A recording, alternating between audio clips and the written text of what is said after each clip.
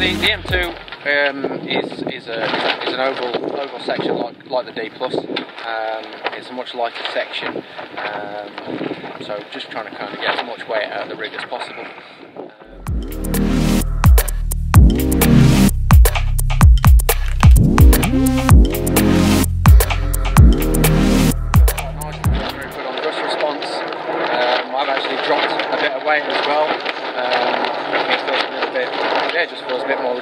All over it. I haven't, you know, I haven't done much testing with it, so far it's been quite nice. Okay, well we've got the GoPro on board today, so uh, have a good uh, have a good day, Andy. Thanks very much.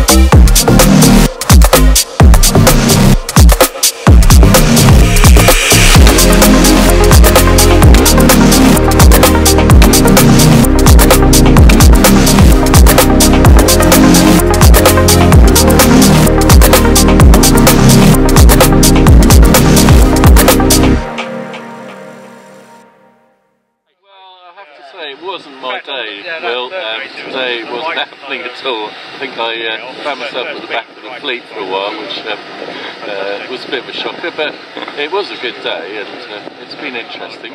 And it's the 50th anniversary of this uh, another momentous day. Great, excellent. And uh, so, what's your next uh, pit stop then? Are you doing going to Medemblik?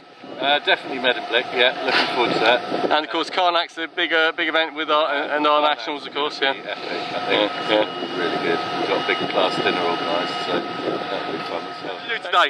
Yeah, yeah, I did pretty well. I got two thirds and then a tenth, I think, around in the second one. Um, I've got a new JP solo that Wax Staff built. Uh, I marched this year, it's a Digger show. Uh, I've got a D plus mass, and then today I've been trying a new full sail Uh, it was nice actually. I enjoyed today. Um, three really nice races. pretty shifty. Um, but uh, had some great racing with with Taxi and Ollie and Richard Lovering and you know a few guys kind of coming in from all over the place. So it was, uh, it was good. It was interesting. Uh, decent starts on all races, and then just I just made a point of heading for pressure rather than anything else. Try not to overthink it and just well. I'll get to the pressure and deal with what, what I get when I get there, you know. Uh, probably about 90 kilos, Right.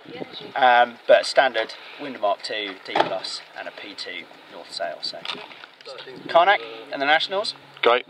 So, uh, looking forward to both of those. Actually, that should be uh, should be good turnouts at both. of them.